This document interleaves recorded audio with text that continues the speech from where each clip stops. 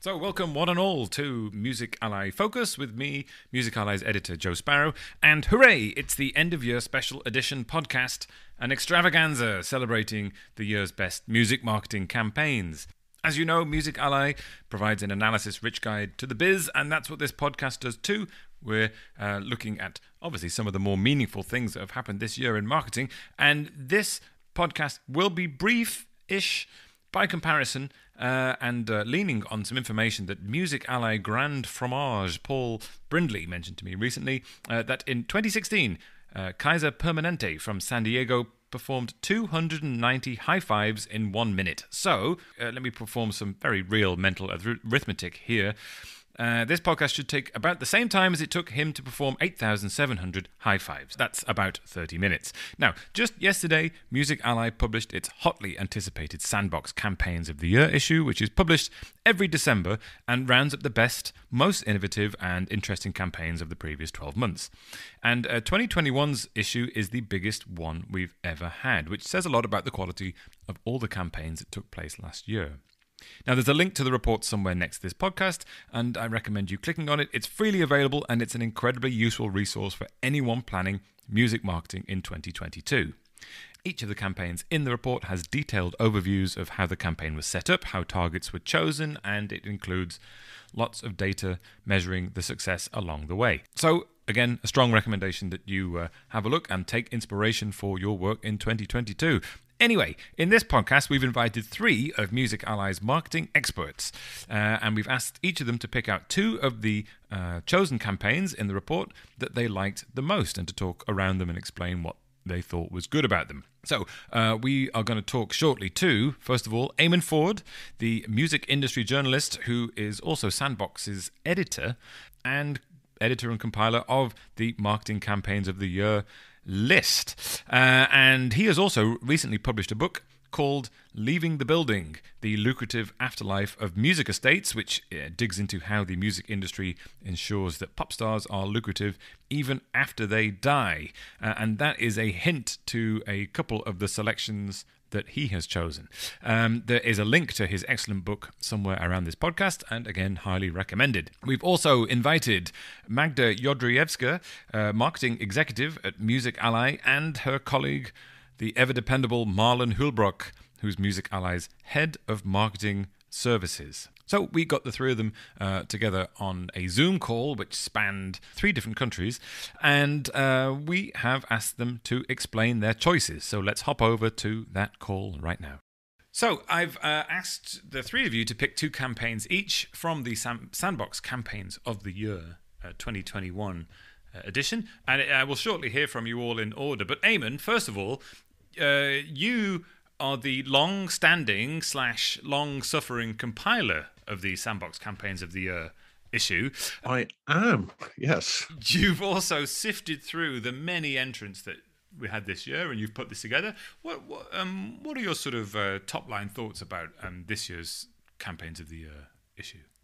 Uh, well, well, last year was really uh, a year of people getting their heads around the impact of the pandemic. So there was a lot of campaigns that had to pivot or change direction or try and find a new angle to fill in that, that mainly that massive gap left by live or kind of traditional promo on TV or radio or whatever. But this year it was all very much baked in. It was like these campaigns were like conceived from the office as just going, we're we're gonna have to just get on with it. This is the reality that we're gonna have to deal with.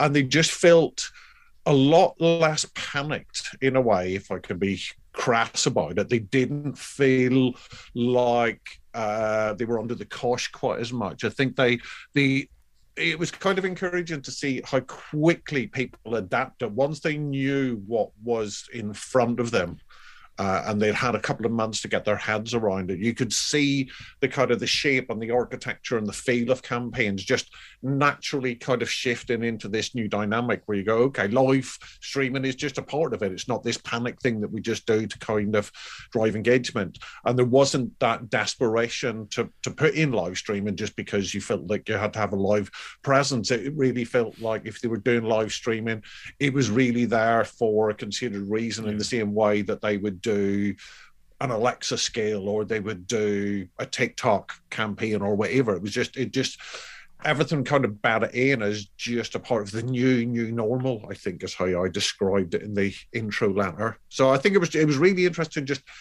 how flexible and adaptable the campaigns were. And uh, uh, necessity is the mother of invention.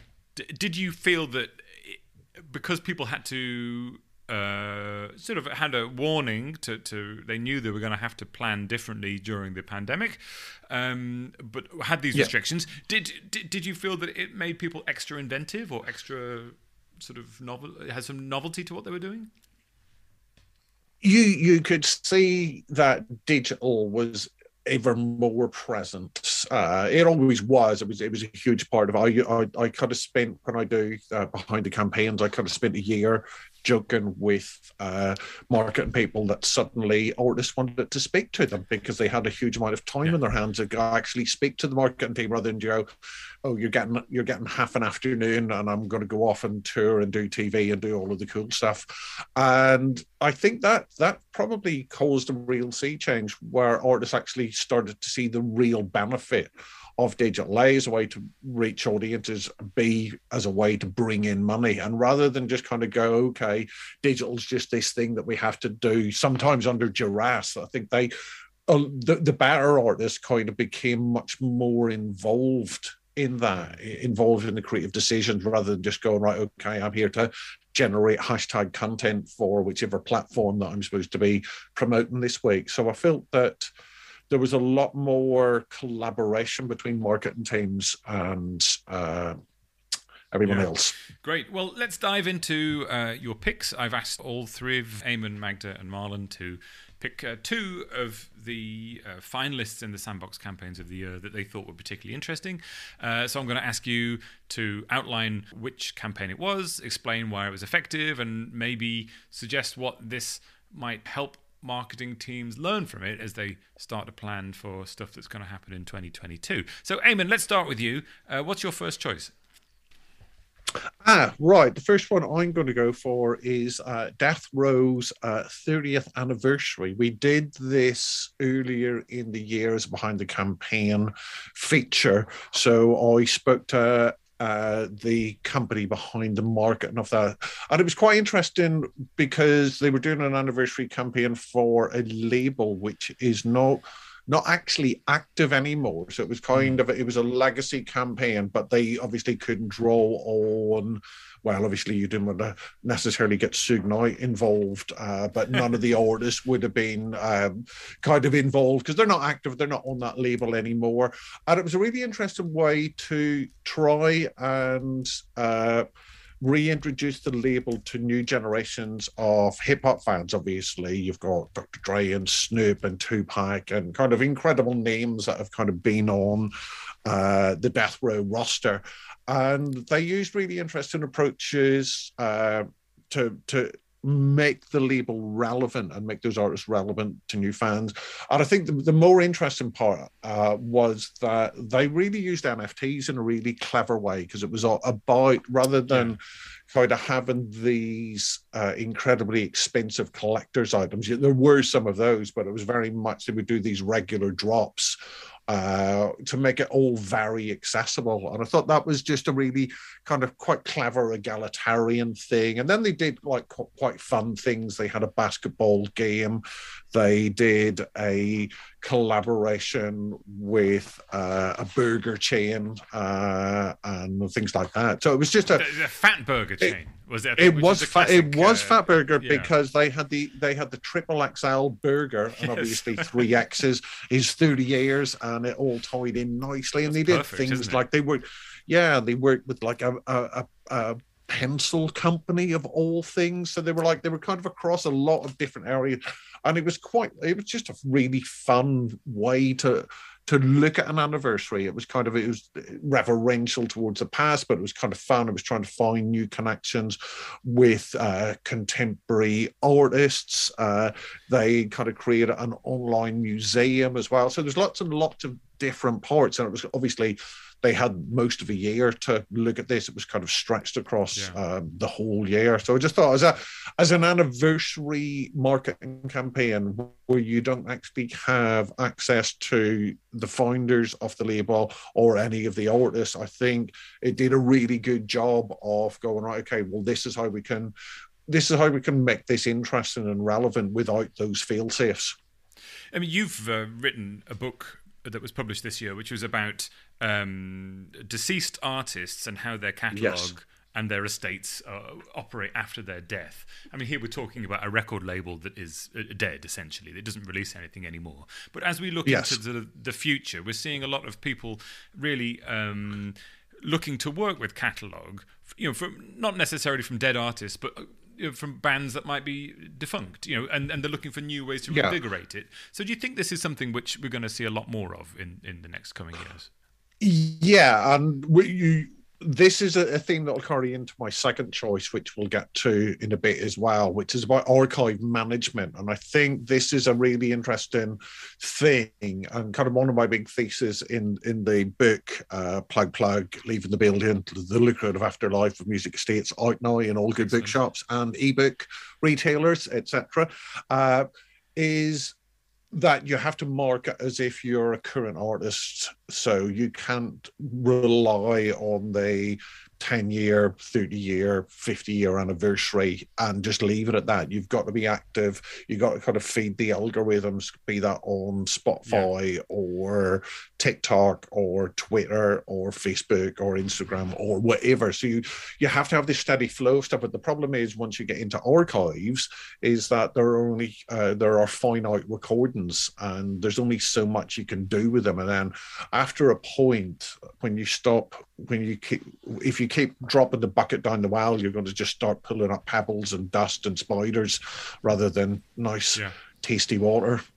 Yes, well, well, we'll discuss that a little bit more in a minute, uh, as you said, with your second choice. And uh, Eamonn's book is a ripper read, folks. A high, a strong recommendation from me. Thanks, Eamonn. It is. Uh, it's, about, it's, it's about dead people, but it's interesting. It, it is. Think. Yeah, it, it, it, truly is. Uh, so, and we'll chat more about that in a minute. Um, Magda, let's come to you next. Um, who have you uh, chosen for your first pick? Yeah, so for my first pick, um, I've chosen an Australian band called Vacations. And actually, now when I think about it, both of my campaigns are kind of uh, similar in terms of that they both um, include really high fun engagement, but a little bit in a different ways. And basically, what um, what Vacations did very well is that they um, actually what Nettwerk their label did really well is that they saw um, their single "Young," I think it is called. Yeah. Um, picking up on TikTok, and um, they reacted. Basically, they reacted really fast. You know, they signed the um the band really fast, and they started to just you know utilizing the platform um, as much as possible. So this is all kind of um, you know the whole campaign kind of um, was created about the user generated content. So not only um, TikTok, not only they did influencer campaigns on TikTok, not only they optimized TikTok to you know um, name the song and the band correctly so people knew what song was that, but they took it a step further and they created a fan sourced music video from um, from you know the videos that people send or created to the song and they also did um, a competition for recreating the stems to the song um, mm. because the band has lost the stems, which I find hilarious, and this, you know just proves that you can make a marketing activity from any situation. Yeah. so um, just to sum up, I just think um, that they really, you know, took the idea of user-generated content and um, content that their, their fans created and you know really highlighting the opportunities right here. And also i could see that they said um, in the campaign overview that you know because of the australian lockdowns they were feeling really isolated um, and they can't wait for the tour. So i just think you know it's it's an incredible incredible way to kind of build your digital presence and build a community around you without um, the possibility of connecting in real um, real life.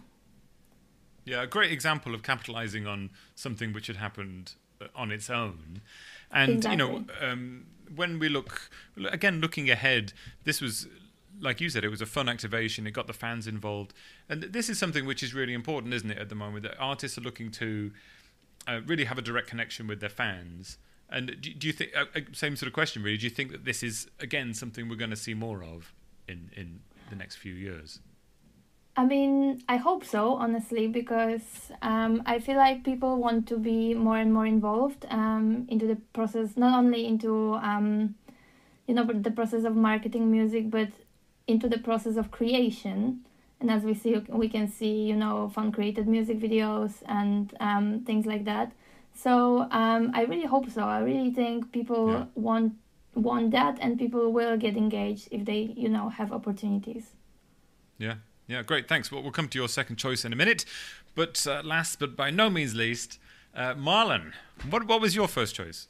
Yes, uh, so one of my two choices was the Nothing But Thieves campaign by RCA. Um, so that was a campaign in between two parts of an EP, so kind of bridging from the first part to the second part. Um, and there were a couple of things that I found really interesting. So it started with the the band teasing out the first single of the second part, and I think they used their content pieces in a very clever way because they uh, posted clips on social media that um, one frame at a time had hidden codes that fans could only mm-hmm. um, see if they took screenshots of the of the pieces of content. Um, and then using these screenshots, they could kind of piece together the track title and date. Um, and I think that in itself is a very clever way of kind of playing or using the algorithm in a good way because obviously fans had to watch the piece of content maybe a couple of times to actually realize what was going on and be able to screenshot at the right time and by doing that they were spending more time on the pieces of content you know all of these signals that platforms like instagram look at so i think that was a very very clever way to do and also they kind of posted this content um, onto different platforms. So if you only were following on one platform, you couldn't get the whole picture. Um, so that was also quite a good way to kind of encourage fans to go to the different platforms, maybe follow on all of the different platforms, and a kind of good organic strategy to do that.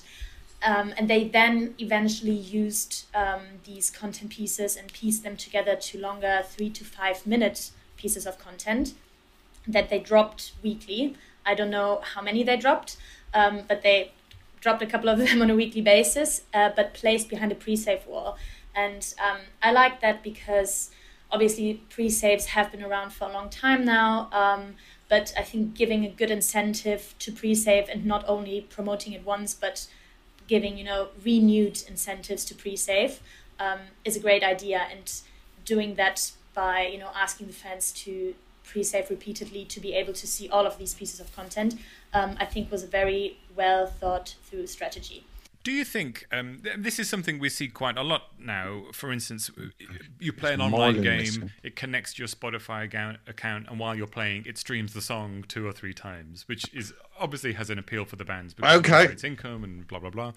Do do you think that fans are happy with this? Do you think they they feel a bit sort of like they're being taken advantage of or gamed, or are Maybe they just happy to do this? Internet's gone. Maybe she's got. I think that as long as you really make sure that the activation, whatever it may be, has value to them, then it's good. I think what what can be quite turn offish is when you land on a website and whatever, and you can really see, okay, there hasn't been much thought put into this, and you can really see through all they want me to do is pre-save or connect with Spotify, yeah. but there's not much in, in it for me. But if there's something that's truly fun and a nice experience, then I think fans are more than happy to do that.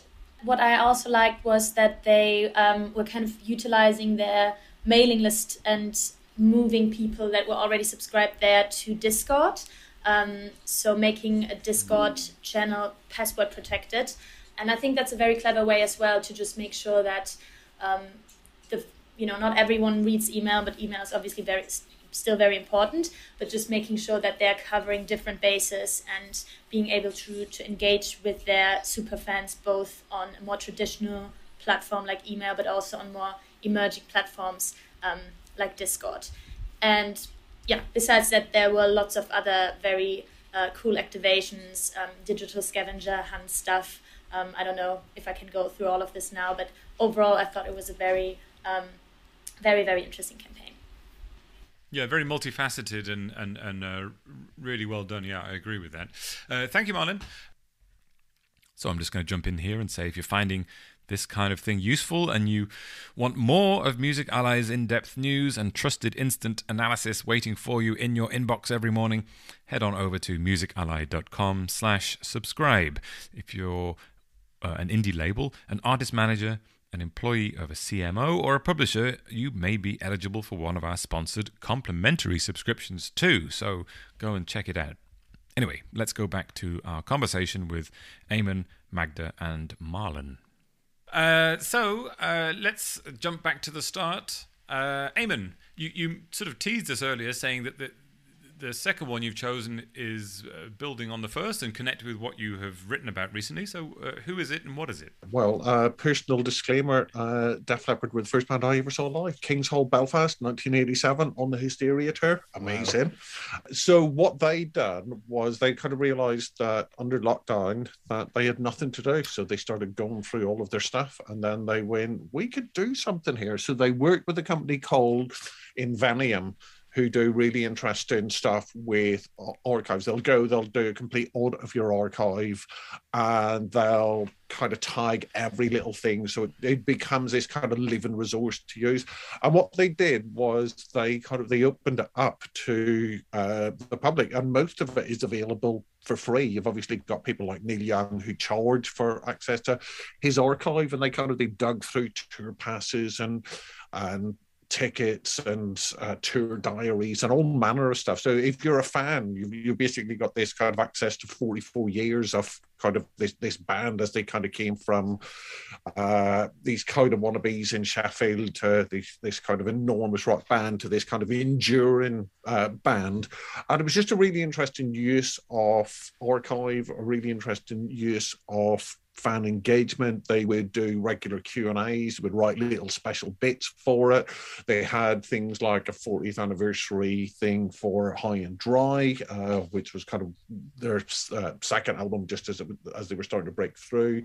They had a whole thing with Ross Halfin, who was kind of their unofficial official photographer so they had like a whole thing with him and it was just this really a great way for fans to get to see all of the stuff that is behind all of the stuff that they like. And I think you'll you'll see a lot more bands and artists realizing the importance of their archive and their importance of getting their archives in order. And lockdown was obviously the catalyst for a lot of this, but I think what Def Leppard have done basically turned this like I think they called it the first online rock and roll museum was their kind of tagline for the whole yeah. thing. But I think it's it was just a really good use of the past to kind of use that as a hook for kind of existing fans, maybe pull in future fans. And you know, like certain artists uh, are really, really good with their archive. Like someone like Paul McCartney's got two full-time archivists working uh, MPL all the time, just kind of pulling everything together. And you can see that in his social media where he can kind of just draw on stuff and just like make these posts that are super relevant and timely. And I think that lots of artists, and this was the thing that I find in the book, is that artists tend to hate looking backwards, which is why loads of them don't make wheels as well, because they don't like to think of life without them in it and they don't like to dwell too much in the past. And I think they're now becoming awake to the, the kind of the fan appeal of uh, archives, but also there there is a kind of potential commercialization of this. They can charge for certain bits. They can have a kind of a premium tier, but also it feeds marketing. If you've got all of your archive in order, if you've got this stuff, so then when it comes to a 40th anniversary, you can go, here's all of this stuff, but also you can just go, here's something that happened on this day in 1988. Yeah. It might not be the most significant thing, but here is a thing that happened on this day. And you've just got this, you've got this incredible diary of the past that you can use to kind of define your social media output or whatever else. So I think we're going to see a lot more of that. I think uh, the, obviously the pandemic caused a lot of people to take stock of a lot of stuff, but I think rather than just seeing it as something crass to completely commercialize it, it can just become another fan incentive. And I really, really liked the way that they did this. It was just it was all we, we use this term a lot in marketing about kind of fan first and stuff like that and a lot of that is kind of lip service and it's not really about the fans but this genuinely was the fans were like at the absolute center of this and they just dug out all of the stuff if you're a fan they dug out everything that you want to yeah. see and i just think it's a it's a kind of best in show example of what you can do with an archive and how you can translate that into the digital world. So I'm I'm I'm I'm pro leopard yes. on that. They did a good job. Uh, in, of course, and. Uh, you know, we're seeing as well. Obviously, catalog is is rocketing in value for all sorts of external reasons at the moment. But um, yeah. as we look at, you know, streaming becoming is obviously the dominant form of music consumption, and a Def Leppard song um, from uh, 1985 has exactly the same weight and authority as a, a, modern song in the same genre in that sense because they're competing on an equal footing now. So it's yeah. almost as if this contextualization of, of their archive past is essential to keep continue bringing the value to to their music from the past to audiences. Oh, today. completely, completely, and it, yeah, and it's a, it's another little trigger because they could go, okay, it's 35 years since this single came out, and then that will drive people to stream that particular track, or they'll go, this was the B side, you might not have heard it, or this was the Japanese only single that was released in 1980 or whatever go and play that. So it's always they're always kind of driving stuff. And it was just done in a really nice way where it was never a sales message. It was just going here's some nice yeah. stuff.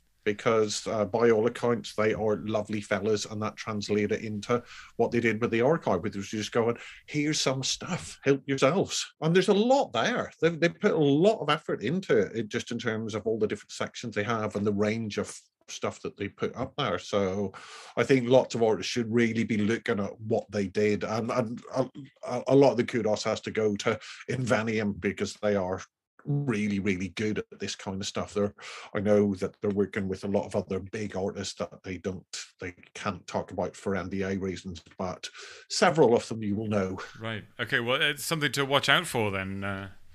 yeah yeah. I, I think you'll see a lot more of that. I think artists are, are probably more at peace with their past now than they ever were because they realise the importance of it. Well, uh, yeah, you're right. It felt really authentic, and it felt the sort of thing that fans are, fans are going to really, really yes. love. So thank you, Eamonn, for pouring some sugar on the uh, Def Leppard Vault. Oh, oh. Ah, you animal! and on that terrible uh, pun, let's move over to Magda again. Hi, Magda. Um, so you, you, mentioned that your first pick was sort of playful and fun. what, what is the second one? So the second one um, also includes kind of fun, acti- a lot of fun activations and fun engagements. But as um, I feel like the first one was focused on the u- user generated content. The second one is focused on creating content and feeding people constantly with, you know, um, engaging activations. So I chose a campaign by Greta Van Fleet uh, from Republic Records and basically um you know they were transitioning from the like kind of the first album era to the second one uh or the next one. I'm not actually sure if that's the second one. Yeah. Um, but yeah, so they were transitioning between you know music eras, and they um, what they did was they started um, kind of feeding um, fans with content at the beginning of the year, um, when the main activations actually started during like April, May, and the actual campaign started kind of later in the spring, which is I think really a really smart way to you know just not let people forget about you, um, but also you know keep people engaged and actually keep feed people with um, new content and keep them you know um, keep them around your accounts, and then when it um, comes to the actual um, campaign they did a couple activations um, across different social channels. So they used, um, you know, they used the Spotify tool that um, would also um, kind of uh, tell fans how much of the catalog they streamed. So you log in with your Spotify account and then you see how much of the catalog have you streamed and how ready you are for the new album, which I think is a great idea for, you know, catalog consumption and just building the hype for the new album. Uh, so that's from the DSP side. And then from the social side, they did an interactive AR filter on Instagram and Facebook. They did a Snapchat lens. They did, you know, a Reddit Q&A. They did a live um, listening party as well.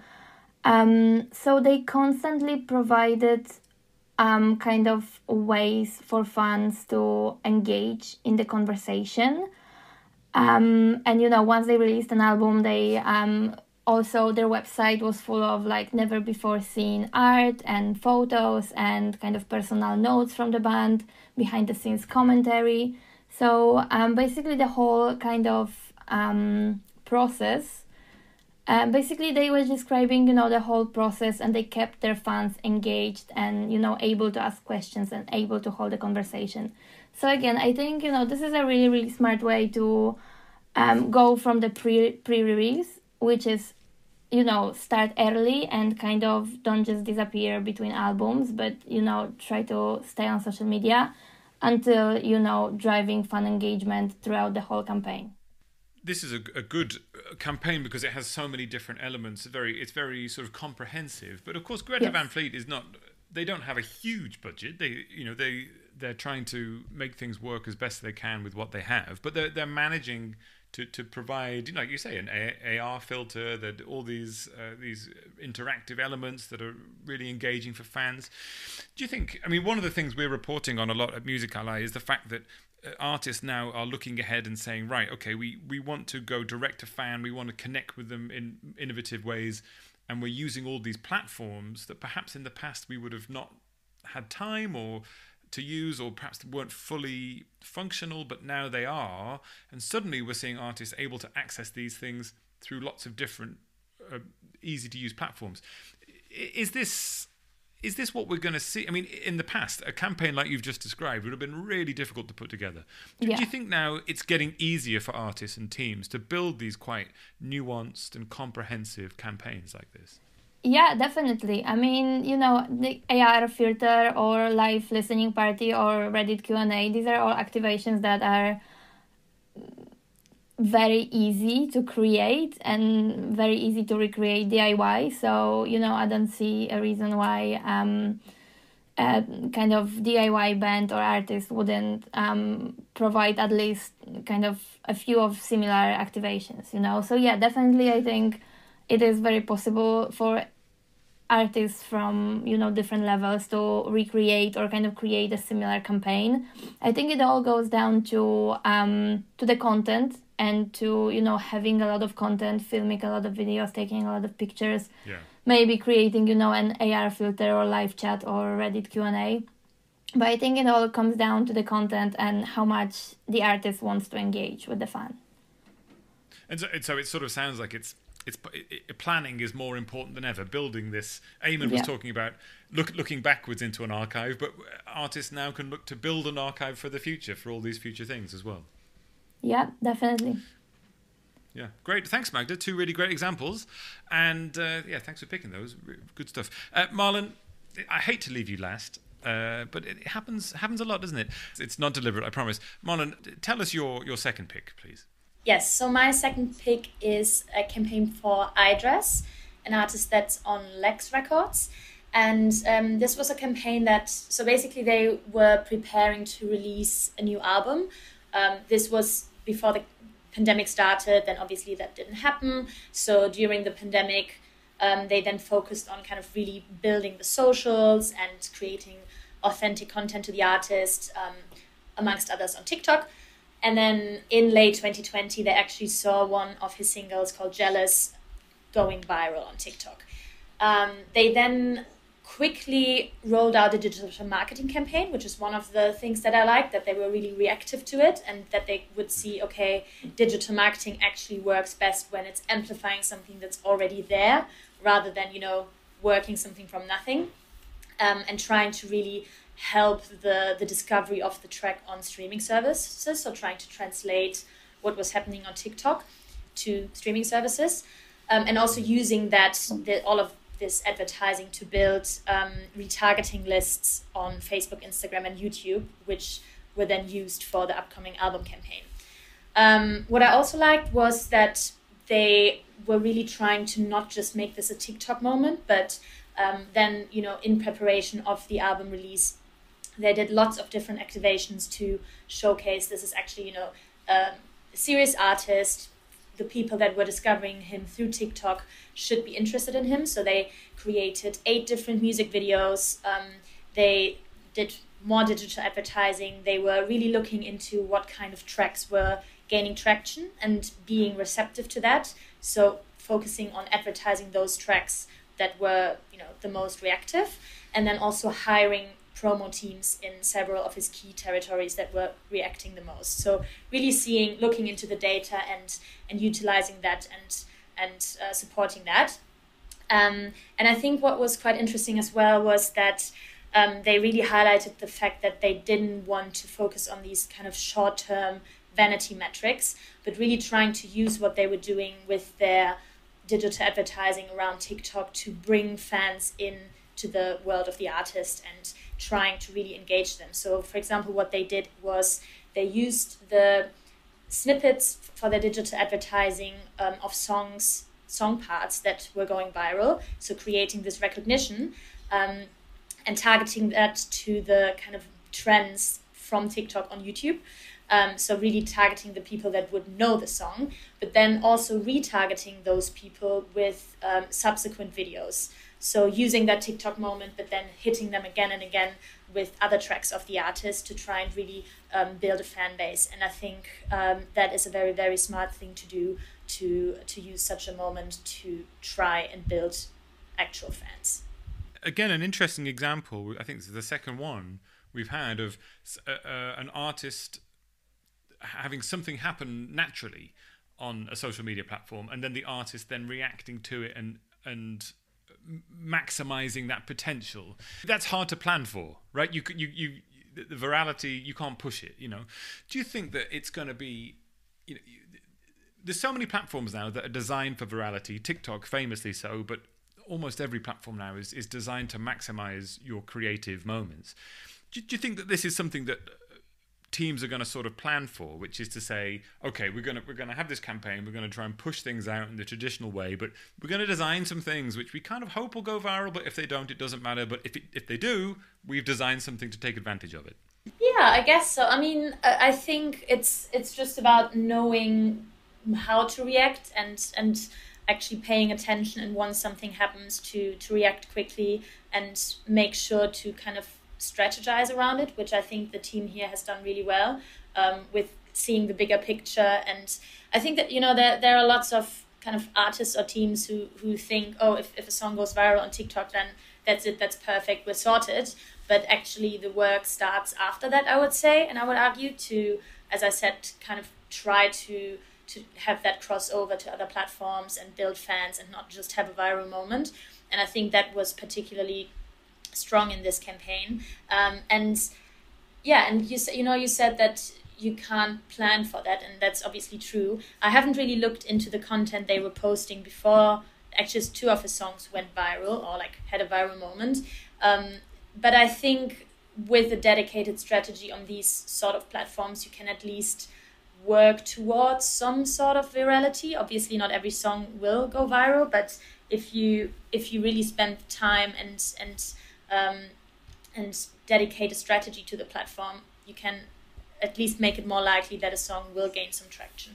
Um, but yeah, it's I think any sort of marketing plan should have um, the flexibility and contingency plan in place. If something happens, something unexpected happens, how are we going to react to it? To answer your question. Yeah, wise, wise words. Yes, uh, uh, very comprehensively. Thank you, Marlen. Uh, really good. And uh, we will, of course, um, put links to all of these. Uh, campaign examples, as well as a link, of course, to the Sandbox Campaign of the Year issue uh, somewhere around this podcast. so that's it. thank you for your insight, Magda, Eamonn, and Marlon. Thanks for joining me.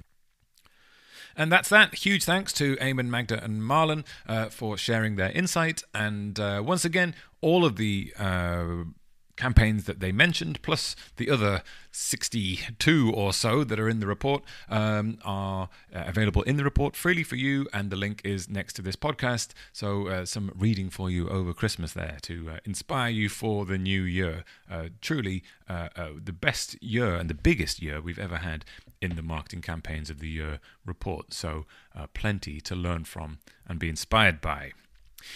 So, if you found that useful, uh, please share this podcast on with someone else who you think will get something good out of it. And if you found it uh, controversial or have any feedback whatsoever, please email me and vent your spleen. It's joe at musically.com. That's joe at musically.com. We also have uh, a free weekly email called The Knowledge, which rounds up uh, a soupçon of the best analysis, news, marketing insight, and skills that Music Ally has on offer. So sign up and make it your New Year's resolution to become a truly a better person. Uh, and uh, links are in the description as always. Um, and uh, well, that's it from me. So, uh, this is probably the last podcast of 2021. We will return in the new year, hopefully heralding the uh, grand return of our flaxen head hero, Stuart Dredge, uh, the uh, Music Ally's head of Insight. Uh, but until then, have a great Christmas, have a great New Year and holiday period, and hopefully see you in the new year relaxed and ready to go. That's it from me, Joe Sparrow. Until next time, farewell.